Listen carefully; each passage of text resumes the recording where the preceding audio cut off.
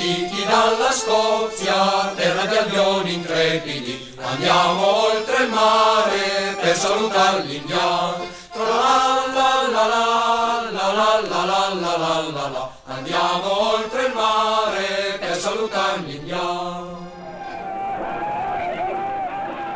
Il carro splendente di Manitou è ormai scomparso dietro le creste delle sacre colline nere. Molte lune sono ormai passate, ma ogni guerriero rievoca ancora nelle sue danze la lotta contro le tribù ribelli del fiume rosso.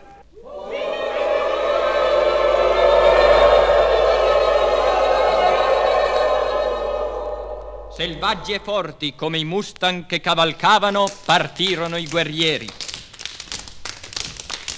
Superate le colline nere, si gettarono nella pianura a galoppo sfrenato. Passarono il ponte delle cascate azzurre. La grande ansa del fiume rosso. Il ponte del coyote. E giunsero in prossimità del lago degli orsi alla foce del fiume sulle cui rive sorgevano i villaggi delle tribù ribelli. Lasciati i cavalli fu concertato l'accerchiamento. Un primo gruppo si allontanò strisciando.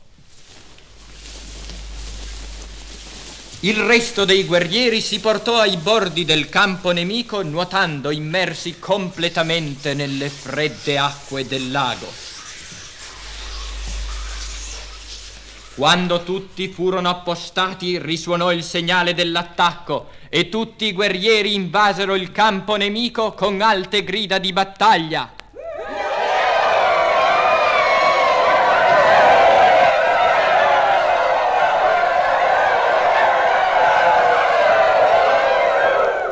Le sorti della mischia si decisero rapidamente.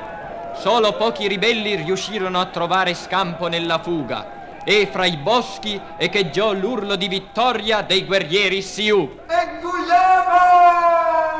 Siete molti! Ed inizia il ritorno. Attraverso il ponte dei Coyote. Lanza del fiume rosso. Il ponte delle cascate rosse.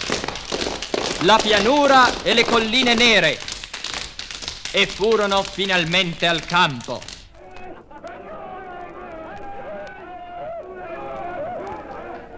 Alla sera il Consiglio degli anziani e i parenti dei guerrieri morti celebrarono, sotto la direzione dello stregone, il rito funebre.